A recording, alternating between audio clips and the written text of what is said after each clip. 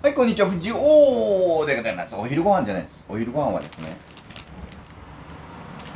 ちょっとですね、あのー、もう母ちゃん逃走しました。いつものように逃走です。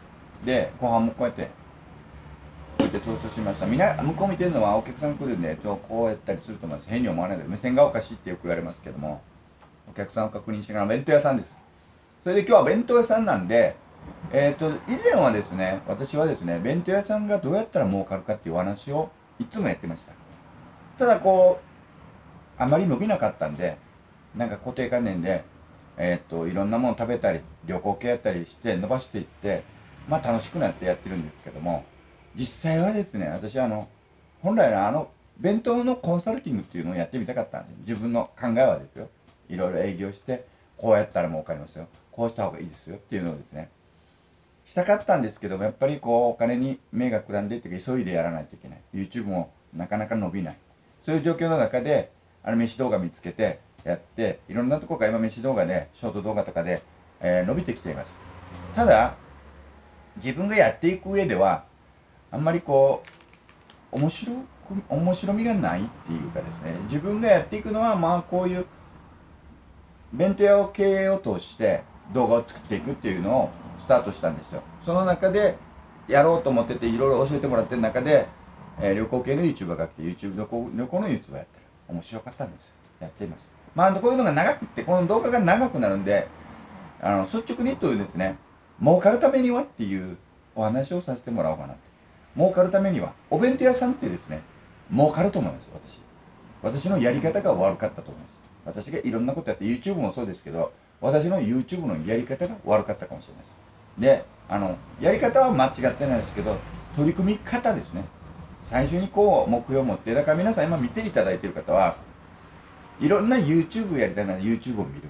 お弁当屋さんを見る。見るっていうのはですねなんで売れてるんだろう。自分の考えで見ることなんですよ。人がこう言ってるとかじゃなくて自分にこれが当てはまるのかな。自分はお手お弁当屋さんに向いてるのかな。とかですね。自分で判断する。自分で。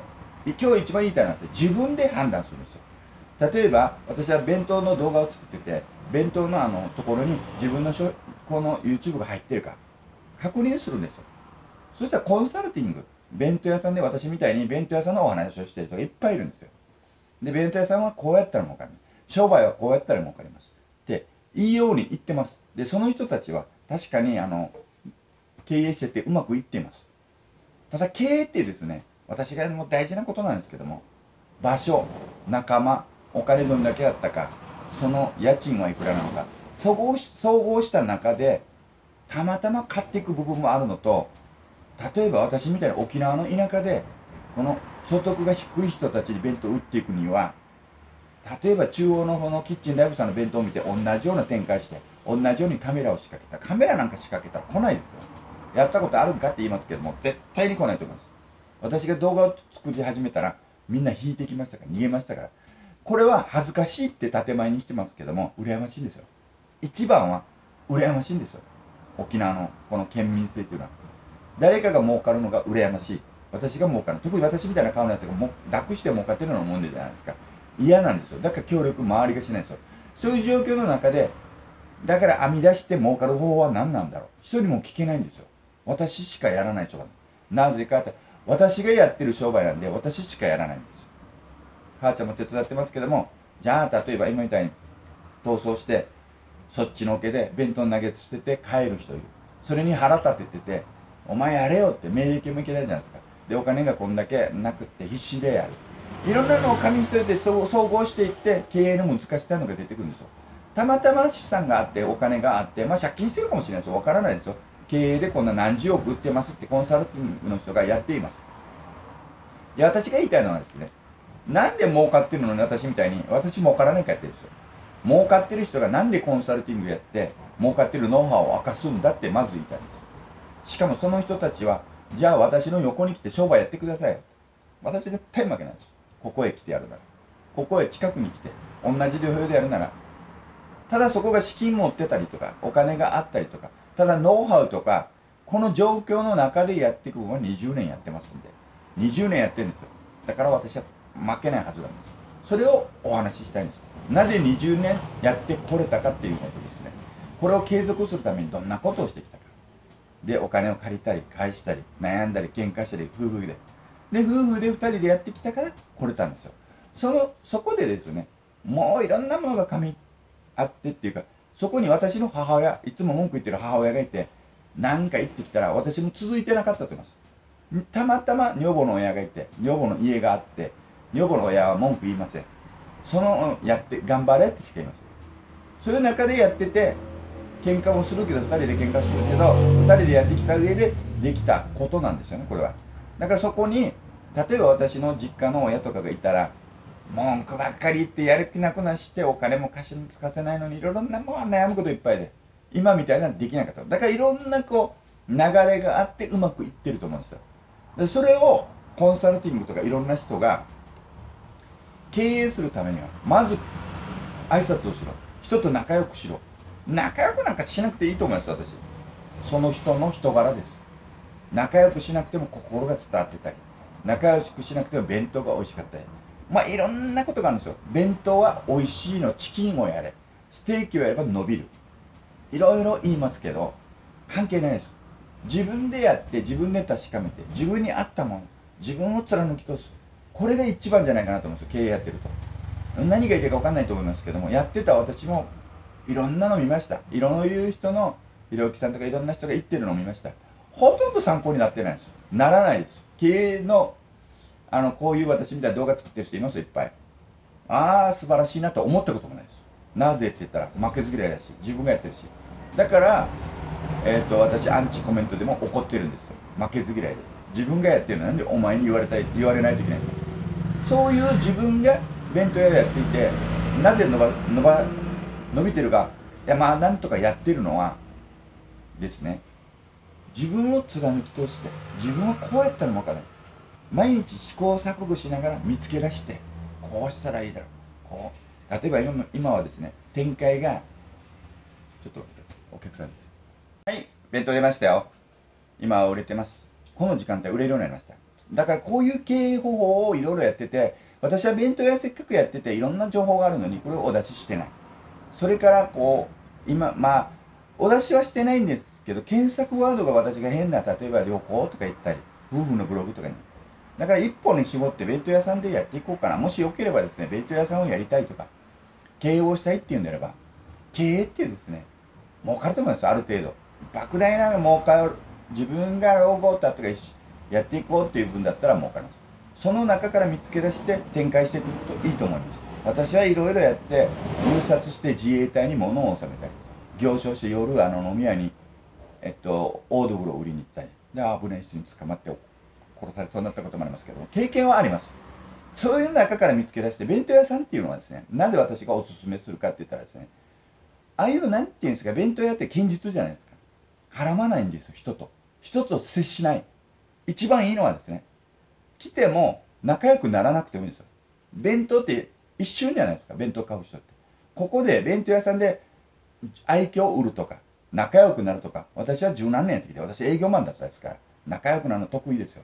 それを捨ててますからもうそういう技を捨てて弁当屋に徹してるんですよで弁当を売るだけなんで仲良くなる必要ないんですよ仲良くなると次行きづらくなるんですよ。またあいつ喋るんじゃないかな。時間がないのにとか。弁当って短い時間で買いに来るじゃないですか。だからそれを悪いって言ってますよ。弁当屋は楽なんですよ。ああいう面で。相対する部分で。で、人との関係も楽なんですよ。だから弁当屋はおすすめしてます。だ夜例えば商売すると、会話しないといけないですか。で、仲良くなっていかないといけないですか。その、よいしないといけない。弁当なんか来なくていいぞって言っても、来ますよ。私何回も言っても、もうお前今度ええぞって。何回も喧嘩してます。喧嘩した人の方がよく来ますよ。なんでってここにメリット見つけてるんですよ。ここが安い、美味しい、メリット見つけてるから来るんですよ。私の問題じゃないんですよ。例えば一番大事なのがですね、毎回大事って言ってますけど、今繁盛してるお店ってありますよね。お客さんがいっぱい並んでる。私だと少ないんですよ。確かに今。でも安くしたら今並ぶんですよ。ということはですね、お客さんが並んでるお弁当屋さんがもしあったらですね、それは客側の勝ちなんですよ。店は負けてるんですよ。店の負けっていうのはですね美味しいとか美味しくないとか以前なんですよ。弁当はお腹に蓄えて仕事をするものなんであのレストランとか飲食店とかそういう喫茶店とかと違ってそこそこおかしい話ですけどそこそこでもいいものそこそこっていうのはですね美味しくなく作れじゃないですよ。あのお値段でギリギリのところで儲かりながら弁当を作るってノウハウがないと弁当屋はできないんですよ。ギリギリのラインのところでまあ50%取ろう40%でもいいかなって設定したらそのラインでギリギリのところで作らないと美味しく作ろうと思ったら簡単ですよ。グレードのいいもの買ってきて物たくさん入れて利幅少なくすればいいんですよ。弁当屋ではそれは今はやらない方がいいと思うんです。昔みたいに売れませんから。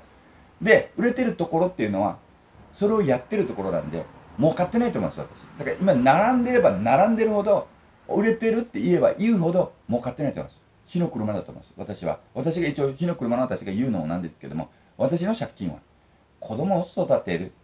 いろんなことの中で借金して学校行かして2人大学行かしてやってる時にあの時は貸してくれたんで借りまんま借りて旅行したりいろいろやったり食べ物食べたり YouTube でも食べ物動画作ったりやってたのが今になって帰ってきた。でで今貸せなくなったんですよ。55ぐらいから。それが今になってこう私は借金して大変ですって言ってるんですよ。ただ弁当屋ではそんなに苦しい。弁当屋だけ細々とやったらなんとかなってます。だから弁当屋をやっていくんであれば継続して長い時間やろうって無理せずにやっていくんだったら一番いい。それでそこで莫大に儲けようと思うんであれば居酒屋とか酒が入って儲かる。その代わり怖い人たちも来ますよ。難しい人もいっぱいいますよ。酒で酔っ払いもいますよ。弁当屋に酔っ払いなんか来たら酔っ払えばいいんですよ。だから弁当屋はいいですよ。食お食事どころでも食堂でもお酒出すじゃないですか。出すところあるじゃないですか。あとあの汚い格好できて横柄な方いるじゃないですか。弁当屋に行っても出せばいいんですよ。返せばいいんですよ。これ汚い言い方かもしれないですけどそれをまた突っ込む方いますよ。お客さんに文句言うのかって。文句じゃないんですよ私が闇っていうのは。だから万人誰でも人付き合い悪い方でも弁当屋さんはできますよ。である程度弁当屋さんはあの何て言うんですかね。逆に奥さんが作る料理。旦那が男が作る男飯。